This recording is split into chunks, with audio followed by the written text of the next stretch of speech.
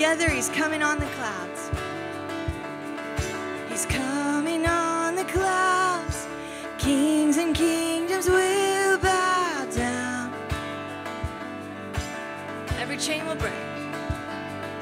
And every chain will break as broken hearts declare his praise. For who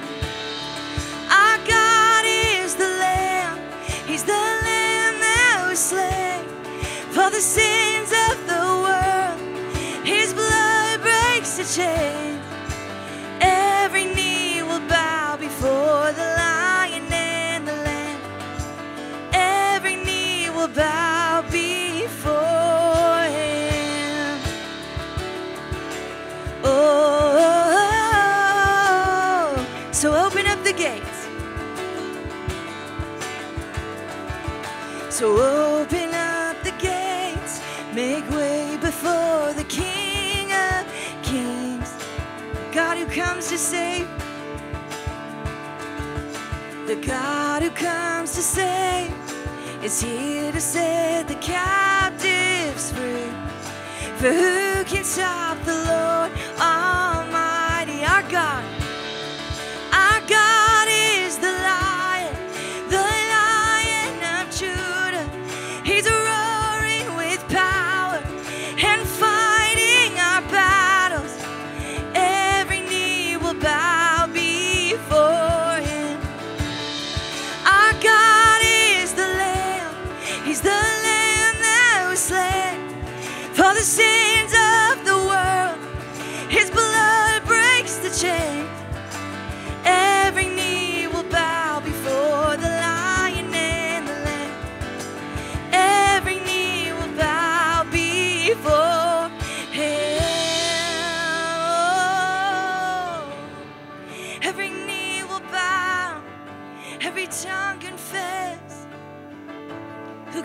the Lord? For who can stop the Lord Almighty? For who can stop the Lord Almighty? Yeah. For who can stop the Lord Almighty? For who can stop the Lord? Just as we sing this, God, we lift up all those that may be brokenhearted, any of us that need your power and your hope and your goodness. Lord, we press into that truth that you are good and that you are strong and that your hope and your goodness will guide us. So, Lord, give us a new song to sing this morning over those that may not be able to sing this morning. Let's sing it together. Who can stop the Lord? Yeah. Oh, who can stop the Lord can stop the Lord Almighty?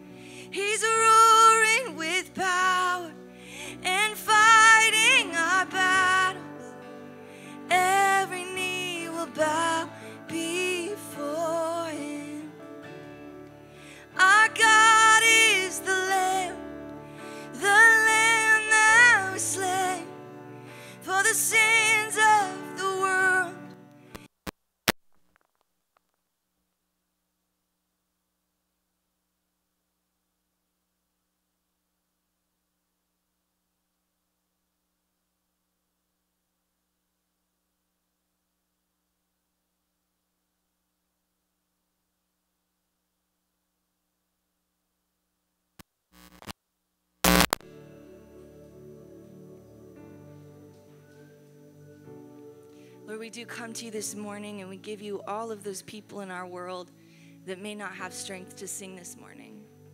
And we pray that your presence would wrap them up, God. And that those of us that do have the strength to sing, God, we would sing on their behalf. We believe that you reign above it all. And as you reign, Lord, it is your goodness that moves you towards us. Your intention toward us is goodness. So may we believe that this morning and declare the truth of who you are, that you reign above it all. And we can trust you, God. Let's sing this together the reign of darkness. The reign of darkness now is ended in the kingdom of light, in the kingdom of light,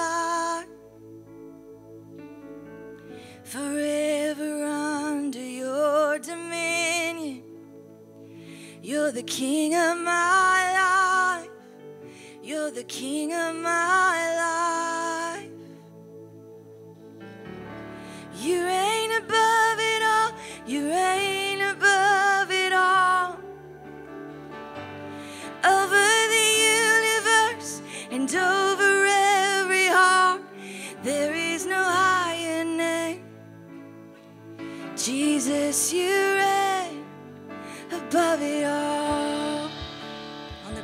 the work was finished. And on the cross, the work was finished. God, you poured out your life just to give us new life.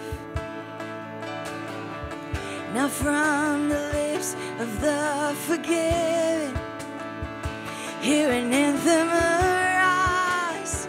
Cause Jesus, you're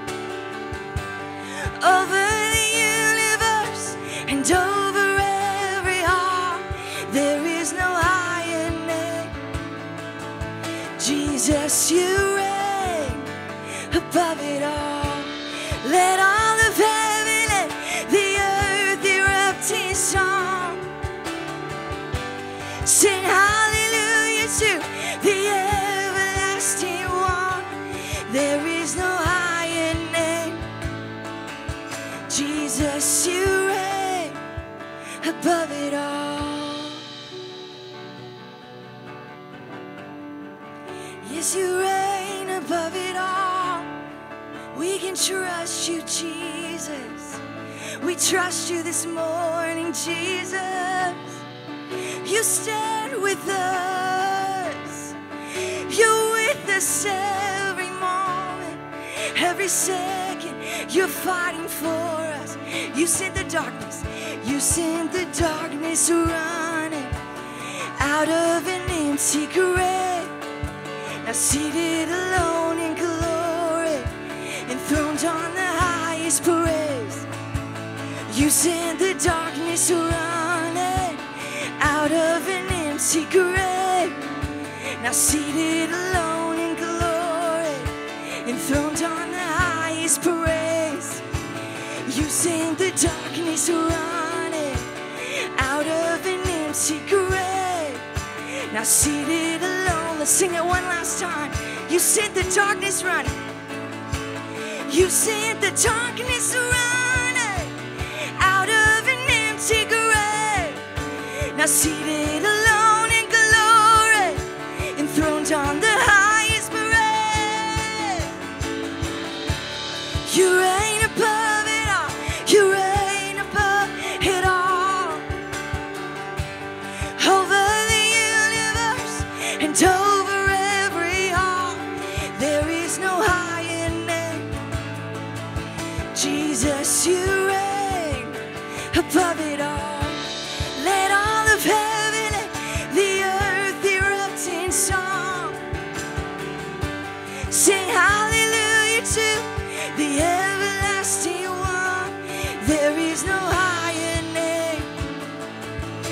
Jesus, you reign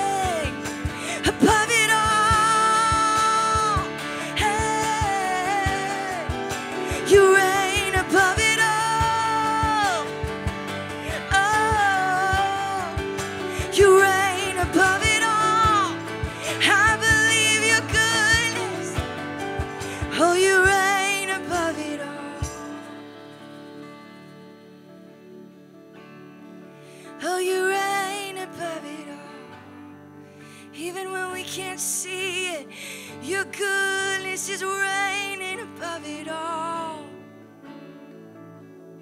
Sing it one last time. You reign above it all. You reign above it all. You reign above it all.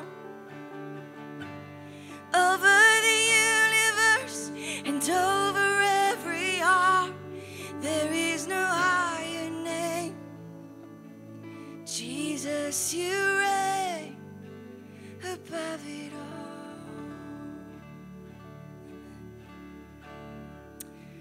Well, as you guys can see, the kids are with us, and every time we have the kids with us, I invite my friend Michelli to come sing. So why don't we give her a little round of applause as encouragement and excitement. And uh, we've, we've got a real hit here, you guys. I have a hard time strumming it. It's so fast, so that's why Matt's going to back me up on the beat. But um, yeah, just encourage you to continue in that place of worship.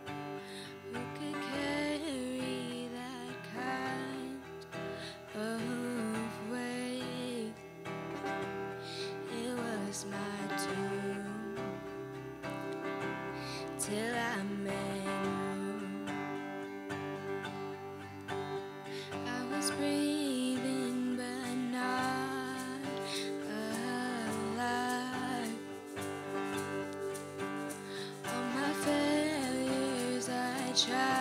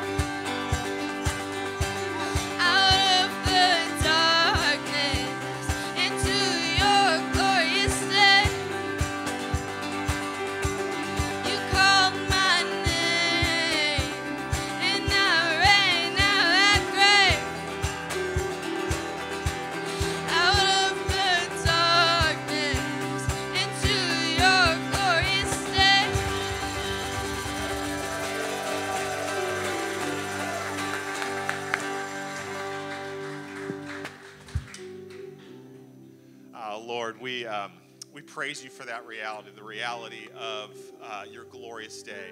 Uh, we're gathered here this morning as um, a community following you and those joining us, exploring life with Jesus, because uh, we join 2,000 years of people who proclaim the glorious day where you got up from the grave and we're gathered together not just because we think that there's good teaching or a good way of life to live, but because we think there's a new reality in Jesus. We've experienced that reality, Lord.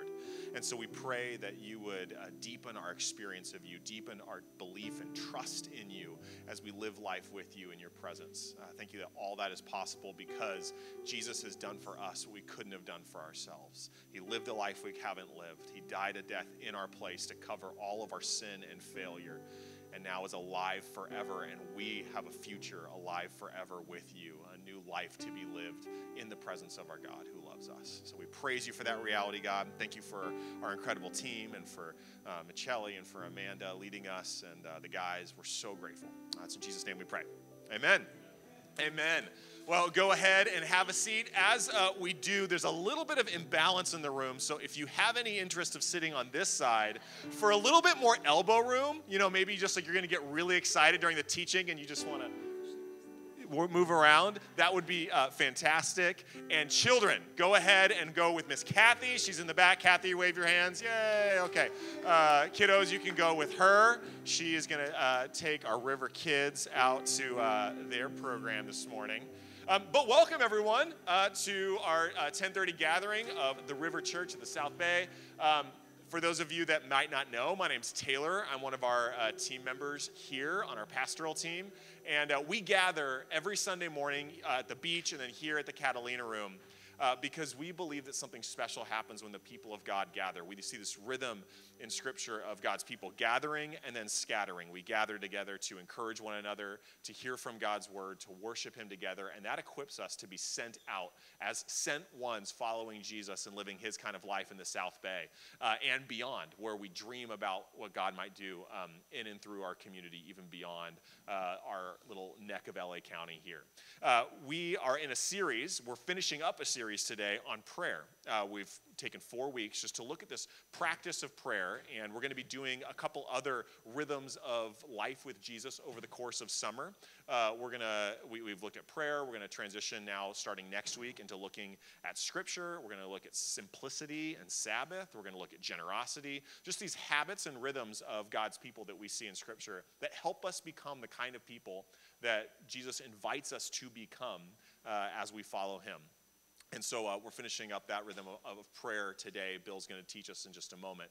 Uh, and one of our kind of corporate shared practices of prayer, and there's all real, real, kinds of great ways to incorporate prayer and a praying life into our lives. But one of the things that we've been doing as a church is we've been gathering uh, at 6 a.m. on Wednesday mornings at a spot called the Pie Hole down in the Riviera Village. Uh, and we've just been, for a half an hour, gathering a group of people together to seek God's presence. And this is not the holy huddle. This isn't like for the people that are like gung ho into prayer. In fact, of the people that are regularly coming, people are coming from all kind of different places and comfortability with prayer, truly and honestly. And not everyone has to pray out loud. It's a time where you can kind of just be there and um, and kind of soak in the presence of of, uh, of a community praying together.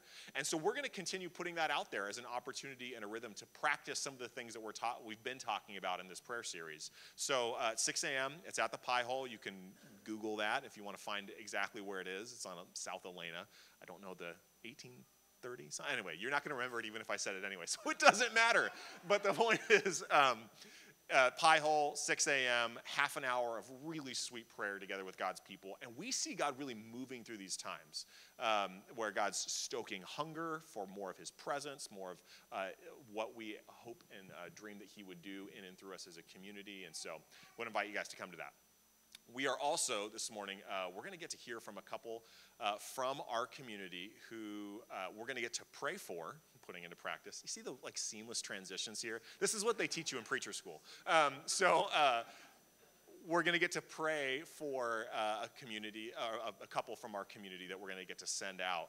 Um, because we believe that prayer isn't just something that we do for personal experience. It's something that moves us, and this is what Bill's going to teach us in a little bit the seamless transitions, moves us uh, out into the world. So, um, would you guys join me in welcoming up uh, Barb and Joe Jackson?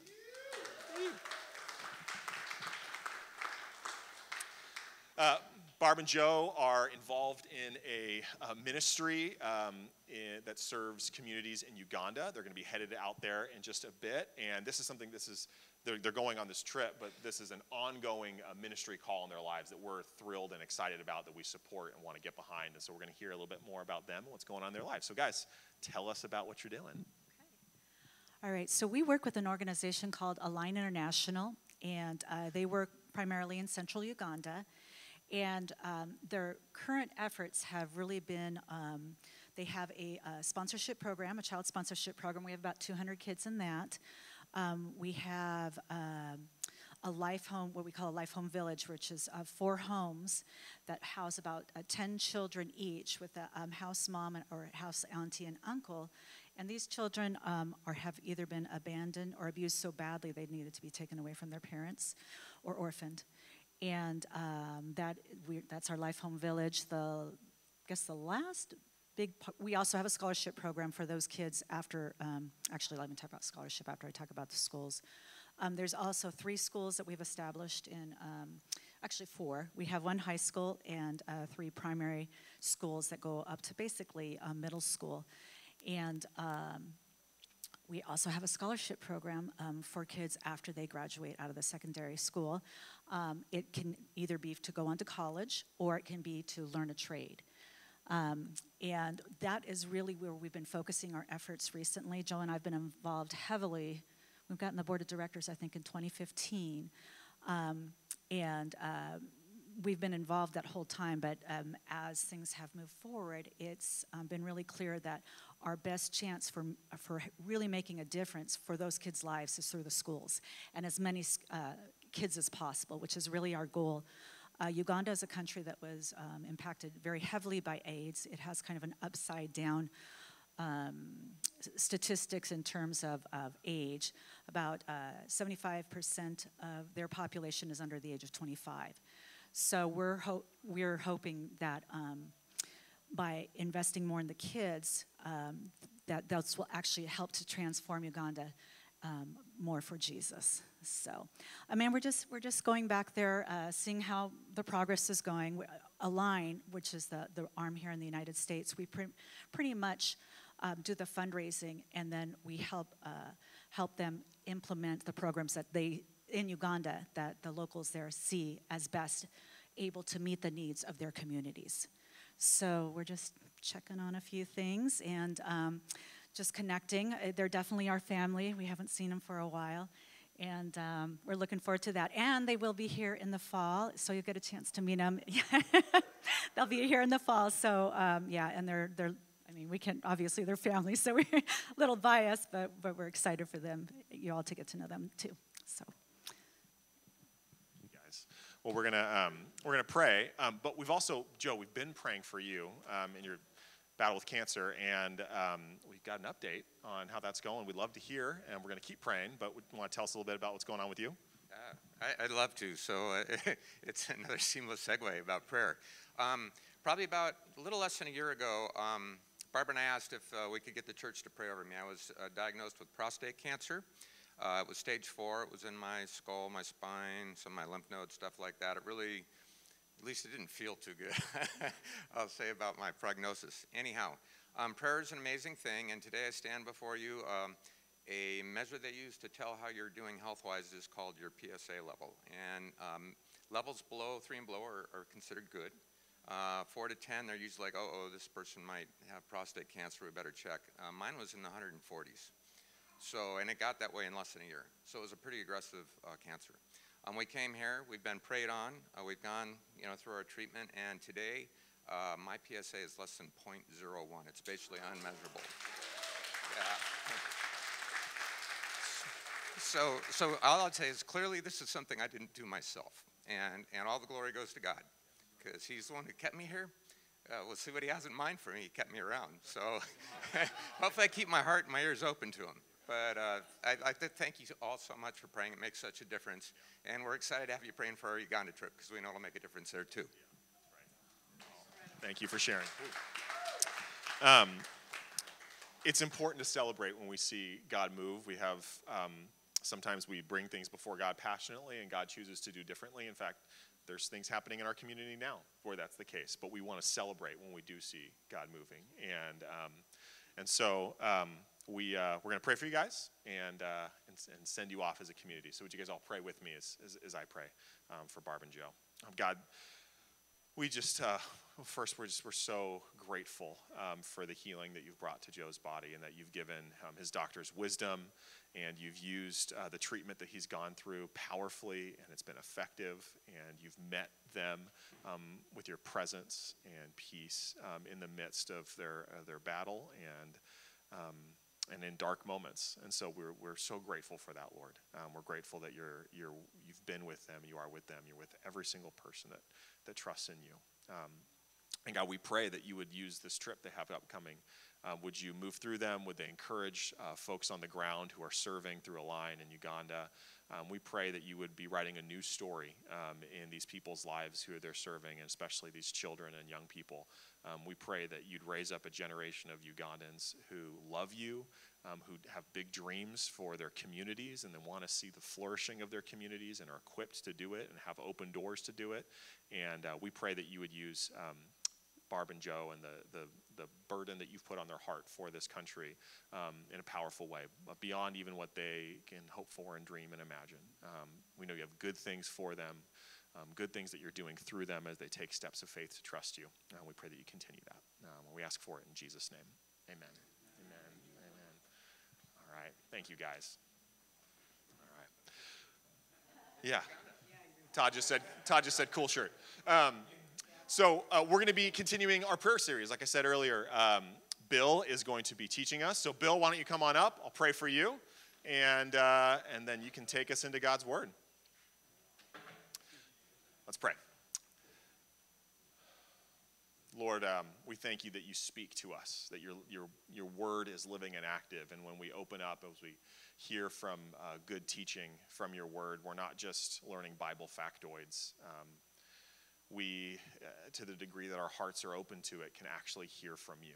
Um, so we pray that you'd give us open hearts. And uh, right now, even let's just each of us, um, in the quiet of our own hearts, um, whatever words feel natural and comfortable, let's just each ask God to speak right now. You can just, it could be as simple as saying, God, would you speak to me right now? But let's just ask Him right now, quietly in our own hearts, um, for God to speak.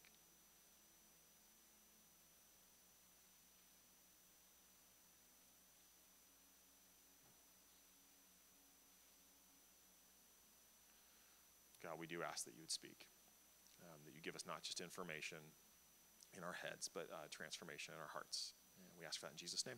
Amen. Amen. Thank you, Taylor. You're such a good guide for us this morning. And Amanda, you too. Just you guide us into God's presence and worship, and uh, you help us to frame what this is that we're doing. And we've been talking about prayer. Prayer is a, a, a mysterious thing, but we believe that prayer as we practice prayer, it changes us. It's transformational. And so there's something about coming before God and bringing our requests to Him.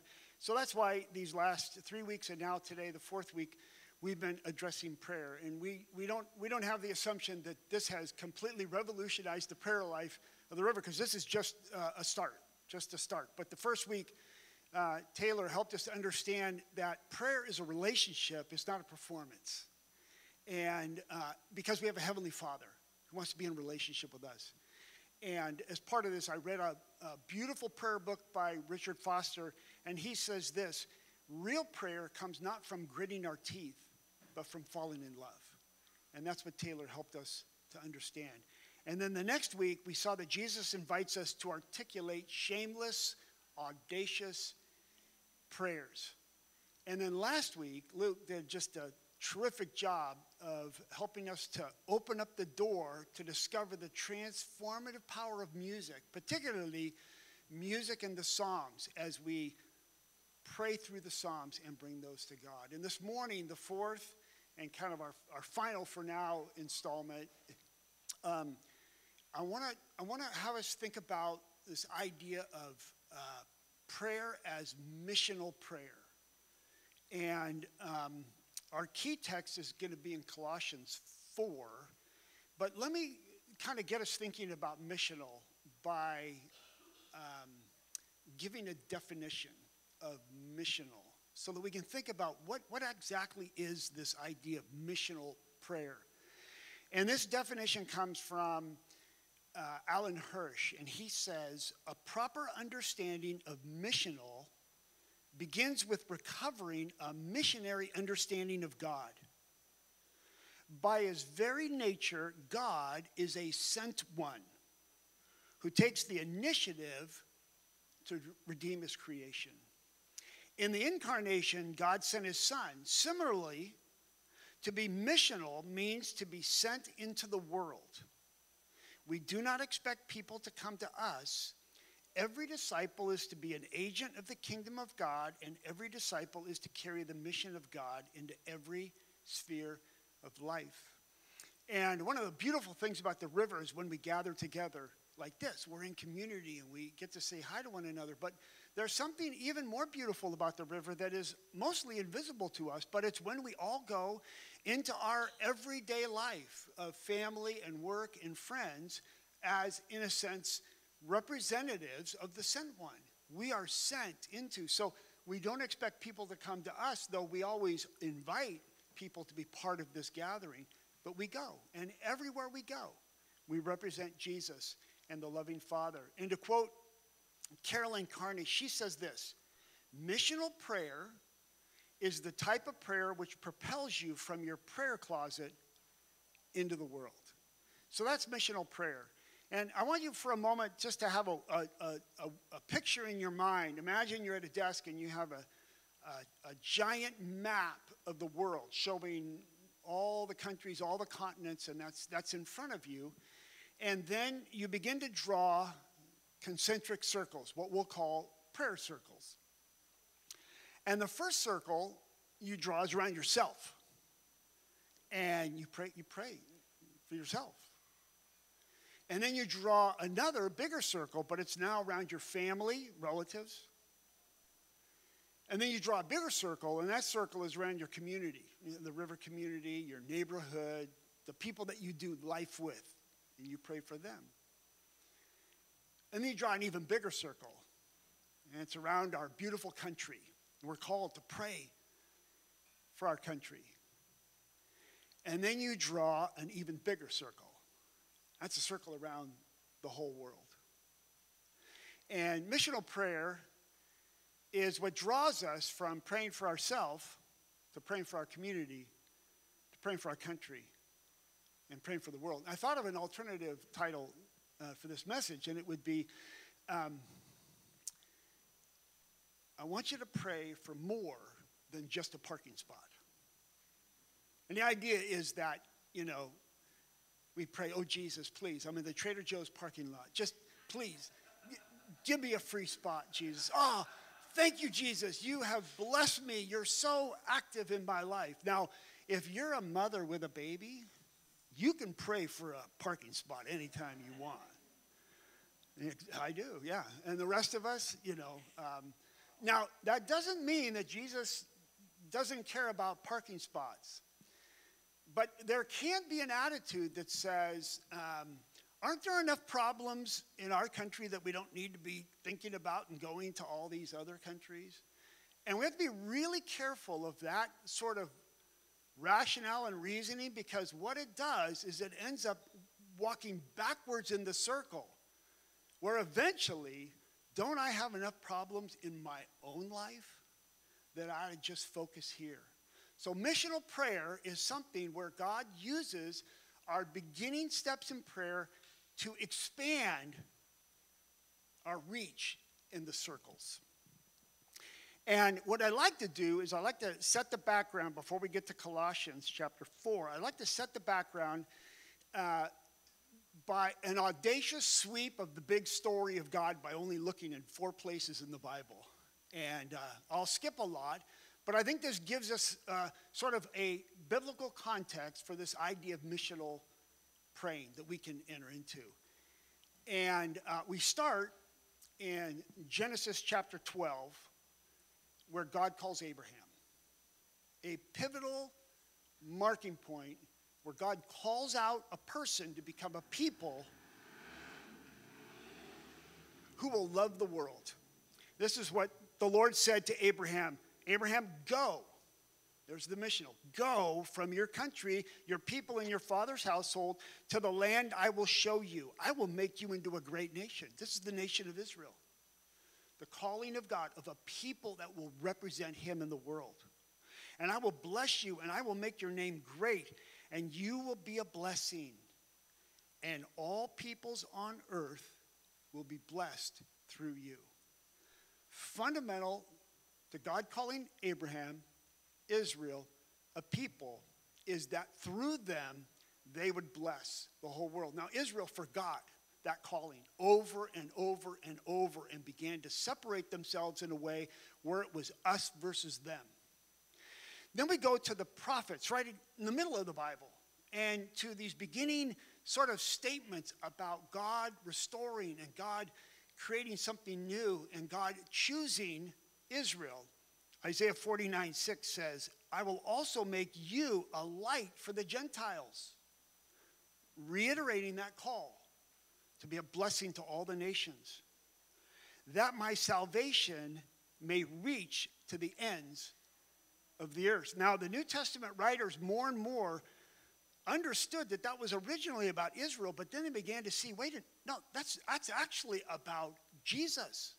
That the prophecy about the light is all about Jesus and his life. I will also make you, Jesus, a light for the Gentiles that my salvation may reach to the ends of the earth. Israel, in a sense, could not live up to their calling. And so Jesus could easily be called the true Israelite. He came and did what we couldn't do for ourselves. So now the blessing goes through Jesus to the whole world, to the ends of the earth. Then we come to the New Testament and the end of Jesus' ministry.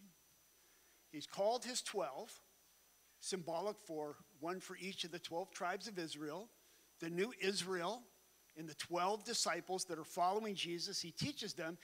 Now, after his resurrection, he calls them together and he says this, which we understand as the Great Commission, but it's really a restatement of the call to Abraham in Genesis 12. To the disciples, he says, All authority in heaven and on earth has been given to me, therefore go. There's the, there's the missional idea again. Therefore go and make disciples of who? All nations baptizing them in the name of the Father, the Son, the Holy Spirit, teaching them to obey everything I have commanded you, and surely I am with you always to the very end of the age. This is where we come in. We, we, are, we are the offspring of those 12, those disciples, and that's our commission. We're now in the footsteps of Abraham and Jesus and the 12 as missional praying disciples. Now, Let's go to the very end of the story. We started in Genesis, now we're in Revelation. Revelation chapter 7. The Apostle John is, is, is seeing what's going to take place, what is going to happen. This is our future. After this, I looked, John says, and there before me was a great multitude that no one could count from every nation, tribe, people, and language standing before the throne and before the Lamb, and they cried out in a loud voice Salvation belongs to our God who sits on the throne and to the Lamb, and that's Jesus. So when Barb and Joe go to Africa, there'll be little children that'll be part of that celebration. So that's the sweep and the story. It's not everything, but it gives you the picture that, that the story is God never gives up on calling a people that will represent him in the world so that they can be a blessing to everyone, to the whole world. So now, if you have a Bible, go to Colossians 4. Colossians 4,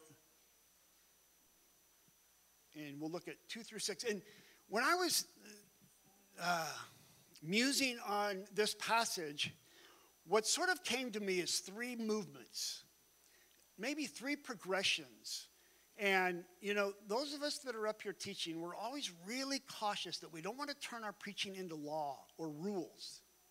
It's invitation. And the Holy Spirit does his individual work in each of our lives. And I see here sort of three movements along the transformation pathway that prayer can come into our lives.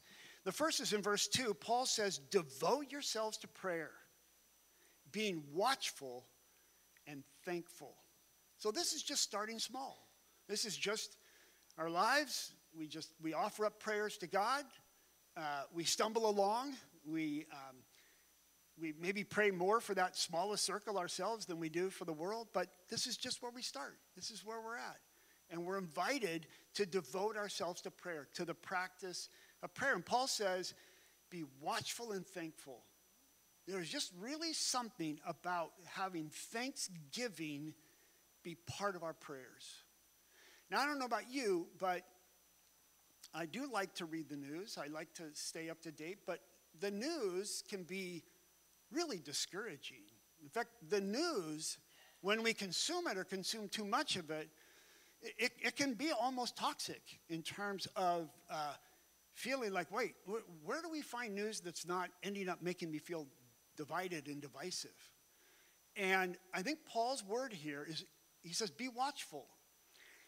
This is the invitation to put a filter on our news and social media consumption. To have, sort of, in a sense, a mindset of where is God at work in the world, especially in this situation in which I am reading. And that becomes kind of a, a buffer or a, um, a, uh, a filter that can help us not allow the news to, to drag us down and cause us to be discouraged, but instead it becomes a prayer prompt. The second movement, I think, and I'll call it uh, missional praying, is in verse 3 and 4. And look at the shift. Paul says, and pray for us too. Now, now he's shifting, inviting us to pray for him in his missionary work that God may open a door for our message so that we may proclaim the mystery of Christ for which I am in chains. Pray that I may proclaim it clearly as I should. This is missional praying. This is where we move beyond just the simple praying in front of us to where now we're intentional about thinking about further out in those prayer circles. We're praying sometimes for those that are doing ministry in countries where there are closed doors to the gospel. And you know that today there's many countries where the door is slammed shut for waltzing in and proclaiming the, the gospel on a street corner because pastors that have done that, missionaries that have done that, people that have done that, they end up in, in prison. And there's, there's literally thousands of people that have proclaimed their life, their faith, their trust in Jesus who now are um, locked in prison. And Paul was. Paul was in prison. I'm in chains for the, for the gospel. And he said, even now, pray for an open door. And so we begin to pray for different parts of the country, different people, different missionaries, different ministries that are doing works in places where it's much rougher going than it is here in our own context. And Paul says, Pray that I might proclaim it clearly. Proclaim the mystery of Christ clearly. And I have a friend who's in a country where the door is mostly closed, and he went there with his profession and skill as an optometrist. And he helps uh, fit people with glasses, primarily people that are underserved and, and a bit poor.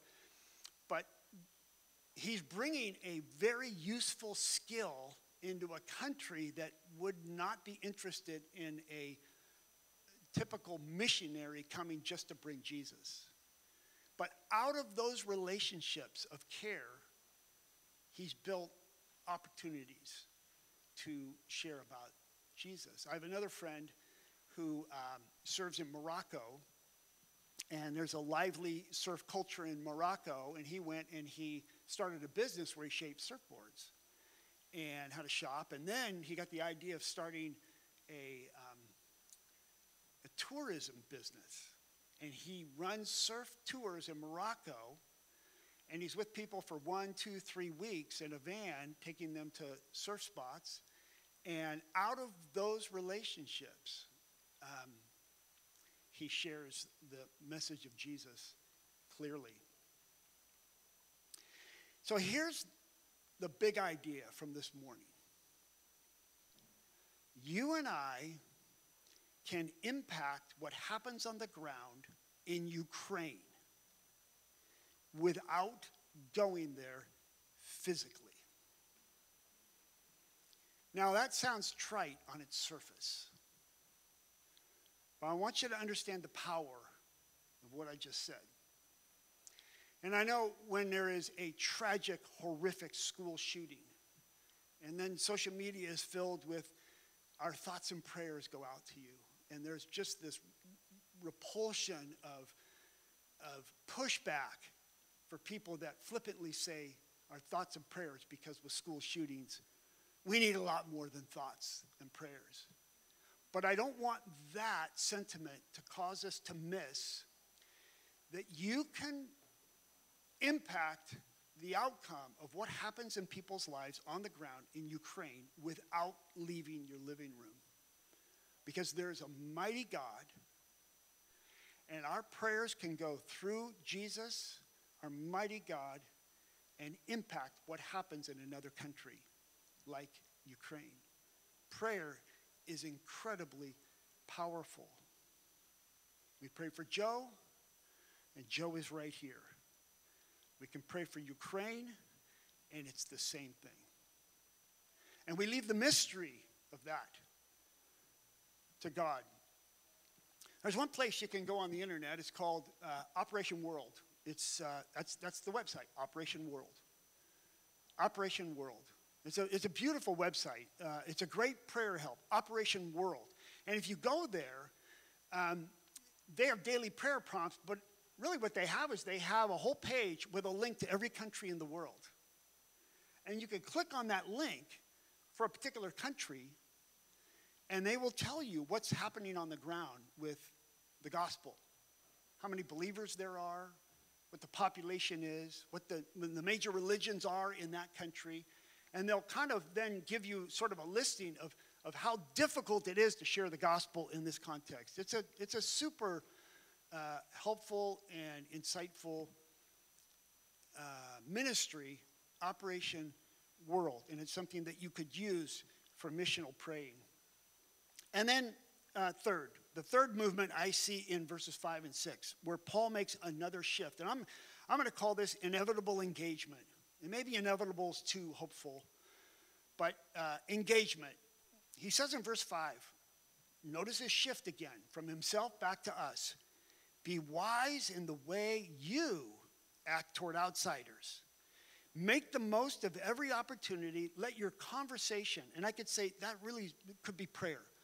Let your conversational prayer be always full of grace, seasoned with salt, so that you may know how to answer everyone. Missional prayer is the type of prayer which propels you from your prayer closet into the world. Now, I don't know how this works in everyone's life, but there's something that happens that I see in this movement. We start with our simple prayers. We begin to expand and grow and be transformed in prayer where we're more audacious, where we're more bold, where we're, we're more expansive. Our prayers reach further out into the world, and something happens inside of us. And sometimes we're drawn into more and more engagement with a particular people group or country. And I would suggest, I don't know this for sure, but that would be true of Barb and Joe. Now, their story is unique. We're not all going to take the same pathway that they have, but I just know that the Holy Spirit has a heart and a passion for the world, for every country. And he uses believers to move into that through their prayers and sometimes their own personal engagement. Uh, my story. Um, when I was in, in high school, I watched um, what was happening with the Vietnam conflict, the war in Vietnam. And I saw the statistics on the news, and, and then I got into college, and of course, it was all winding down, but I still got a draft number. There, there was no, no uh, hope that I would, hope, that's a bad word. There, there, there was no likelihood that I would end up going, but I had a draft number. So I thought a lot about Vietnam, and I was too young to be involved, but I had older friends that weren't too young, and they went. And I was super intrigued. And when I then moved through college and all those Vietnam War movies came out, I just thought, would I have uh, what it would take to, to, to do that, to, to be there?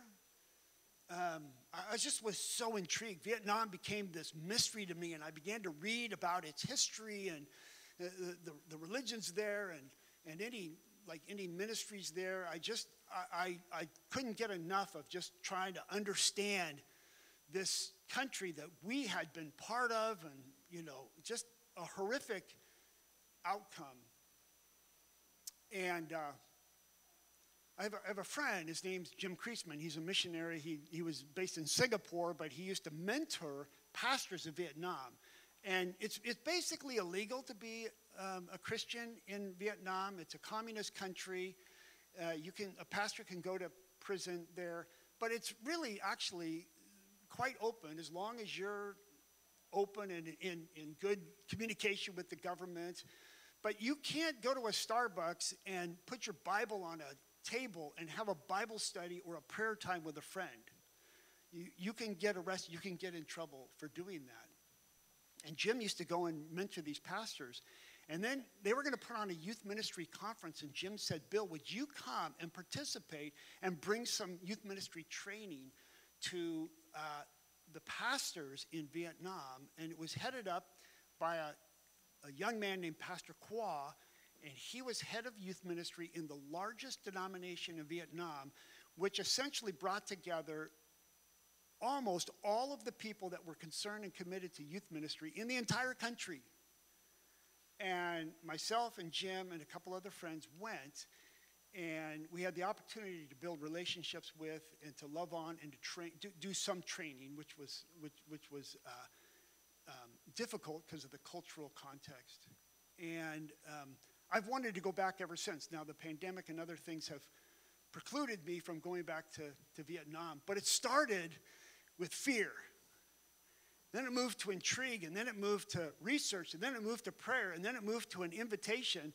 And I, I'm in, I am in Vietnam, and these people are the most beautiful people. And that's just my story. And it gave me the opportunity, with all of that past reading and war movies, to, to look into the eyes of these dedicated Jesus followers and to see them through the lens of Revelation 17. The nations and the peoples and the tribes and the languages that one day will be standing before the throne and worshiping Jesus.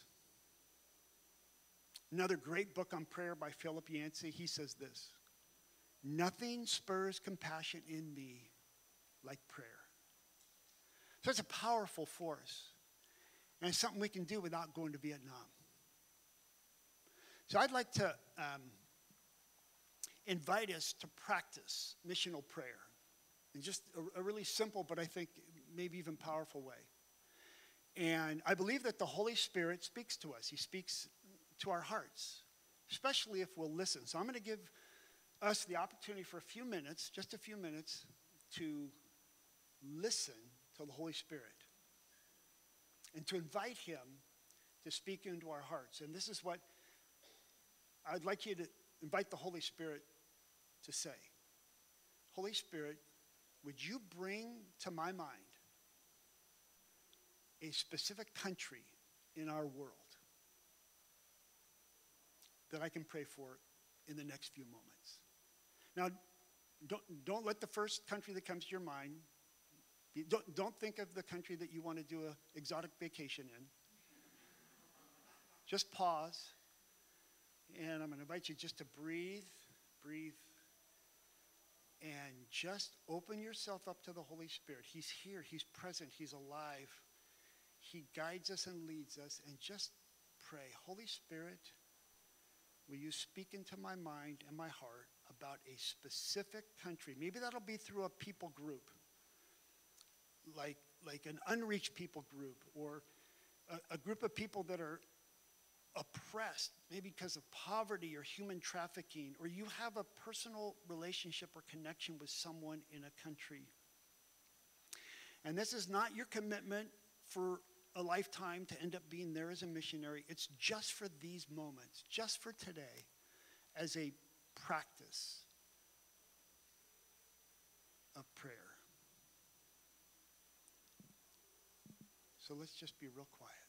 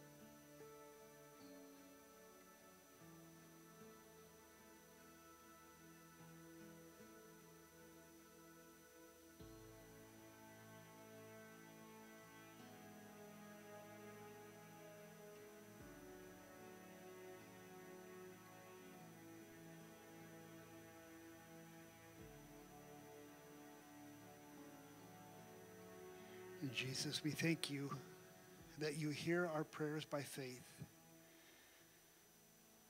Pray that you would change us and change our world. In Jesus' name. Amen. Uh, we're going to pass the communion elements and go ahead and take those. But I'd like to do a little feedback, a little engagement. Um, if you don't mind, maybe you would tell us uh, what country came to your mind and why. And just put your hand up so I can, you know, just say yes. What country came to your mind? China? How come?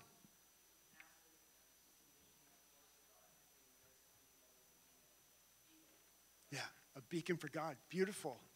I love it. What else?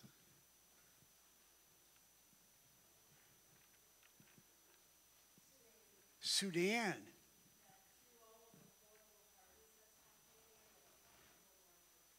Yeah, it's a beautiful prayer. Yeah. A very mysterious country, and there's been some horrible things that have happened there. Yeah. Someone else? What country popped into your mind or people group?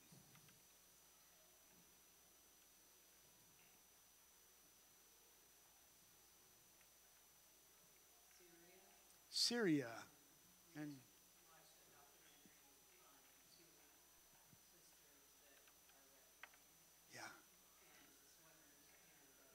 Swimmers, that's right. Yeah.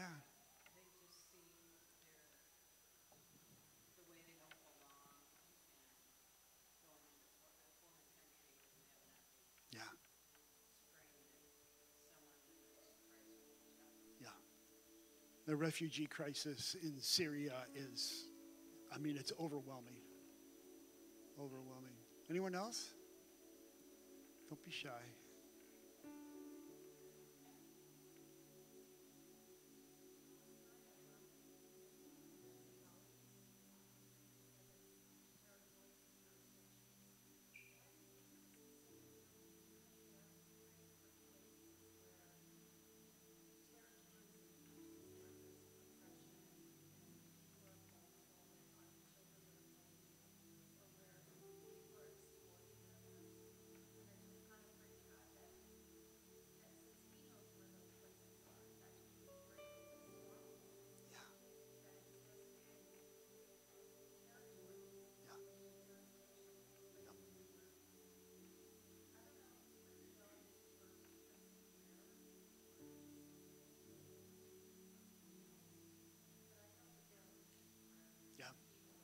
Absolutely. That's beautiful. Yeah, yeah. Paul said, you know, our, our battle is really not against people, it's against the powers, the, the power of the evil one, the principalities. And that, that's that evil, systemic, structural, sometimes governmental oppression of people. And so, yeah, the call is sometimes not to pray against and hate people. It's, it's to pray that Jesus would break the stronghold of principalities in certain parts of our world, certain countries. Yeah.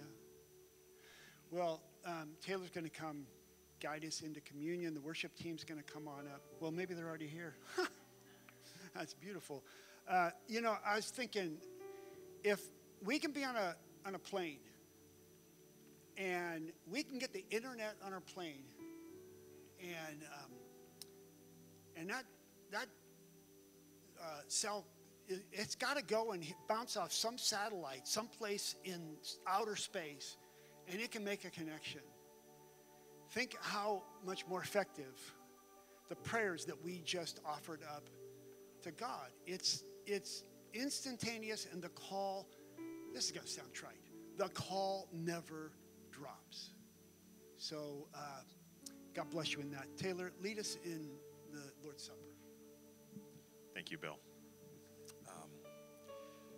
Bill took us uh, in his survey of kind of the story of Scripture uh, to this text in um, Genesis chapter 12, verse 3, where God says to Abraham, Through you, all the families of the world, or all the nations of the world will be blessed.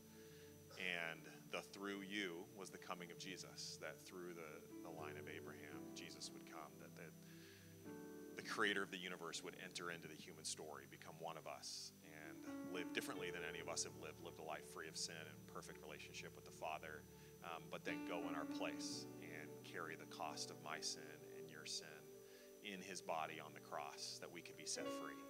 And that is the great hope of the world is that God has done for us what we couldn't have done for ourselves. God's made a way that we haven't been able to make on our own, couldn't make on our own. And that's what we celebrate. Um, God's love for the world, God's love for us on full display in victory of Jesus' cross victory over our sin, victory over the powers of darkness, victory over fear and shame and guilt. Um, and we declare that over ourselves this morning. And so we're going to celebrate communion, declaring the finished work of Jesus, the forgiveness of sin, the cleansing of shame, and uh, full reconciliation to a God who loves us. So right now we're going to um, we're going to celebrate. This is for any anyone that would have a, a personal experience of Jesus, and we're to um, we're to take in remembrance of Jesus. Jesus said to take the bread, which is His body broken for us, and we take in remembrance of Jesus. So let's take together in remembrance of Him now.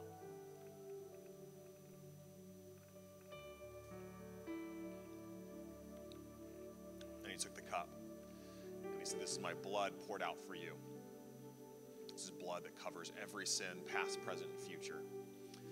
We take in remembrance of Jesus together now.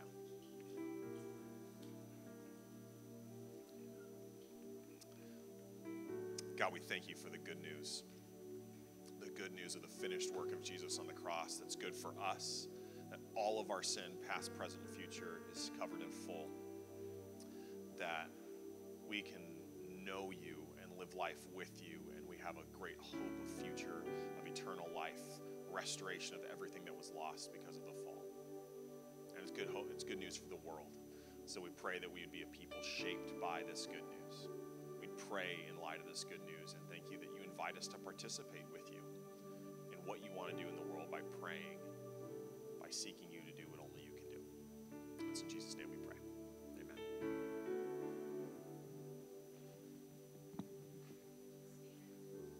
worship.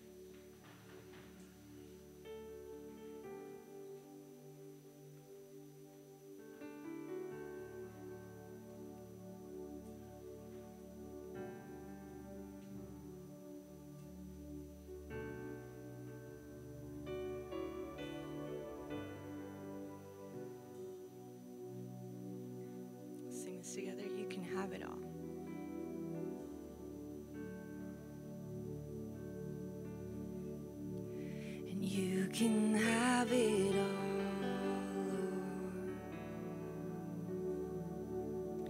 Every part of my world. Take this life. And take this life and breathe.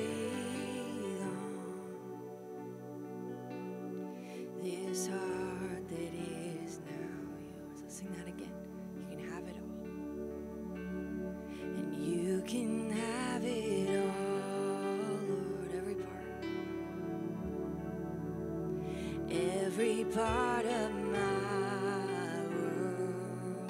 Take this life and take this life and breathe on this heart that is now yours. Oh, the joy I found. And oh,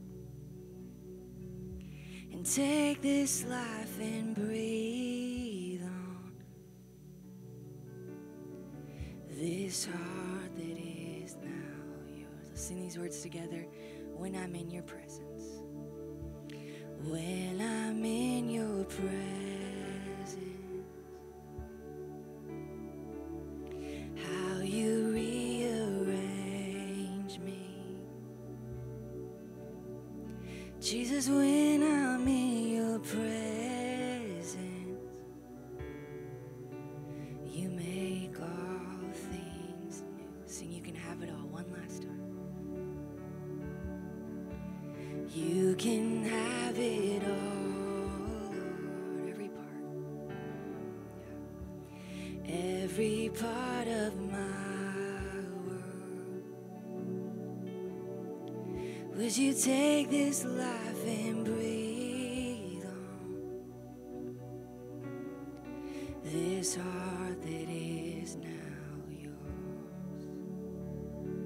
our prayer this morning. Take this heart, breathe on it, breathe life, rearrange all the things inside of us that pull us away from your presence and your power and your love. We fully surrender this morning, God, each and every one of us. Whether you call us to pray for Uganda or our families or the city, God, we take your lead in it and we surrender to you. And we know that it doesn't go unnoticed, doesn't go unseen or heard, but that you are with us and you give us your love and you give us your presence. So, out of that place of being known and seen and loved by the King of Kings, may we respond in worship and in prayer. So, you can have it all, God. All the fear, all the hope, the dreams, the ups and the downs, it's all yours. And we trust you with it.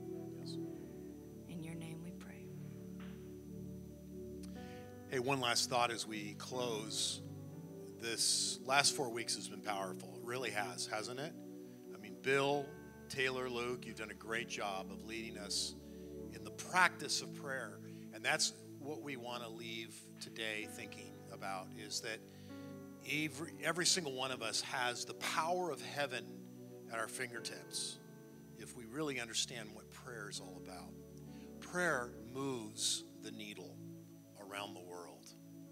And you and I, all of us, just think of the power that's in this room if we practice prayer.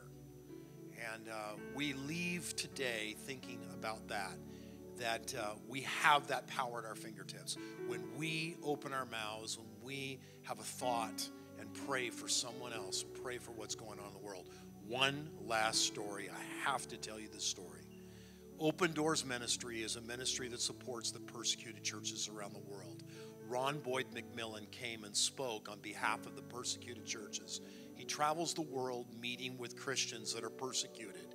And he came back with this one story many years ago, and I never forgot this story. He met with a pastor that was imprisoned in, imprisoned in Russia in the Gulag Archipelago, the famous prison in Siberia, where most prisoners die of not starvation, not of persecution, but they freeze to death in prison. This pastor was freezing to death. He was going to freeze to death. And he felt God's breath on him. And he believed and he heard from the Lord that these are the prayers of Christians around the world that prayed for him and it kept him alive by bringing the breath of God, the warmth of God, physically, literally, the warmth of God, and kept him alive in the gulag. He survived to be able to tell the story that when we pray, God moves. And God literally, through the prayers of other people, kept him alive. I've never forgotten that story. And every time I pray for someone else in the world, I recognize the fact that God is moving in another part of the world through our prayers. That's what we get to do. That's the power of prayer. And may we be a people of prayer that move the needle around the world because you and I, as we're driving in our cars and as we're sitting on the beach or whether we're in our private rooms praying, God moves the needle. Let's go. Let's be a people of prayer. Amen. Have a great 4th of July.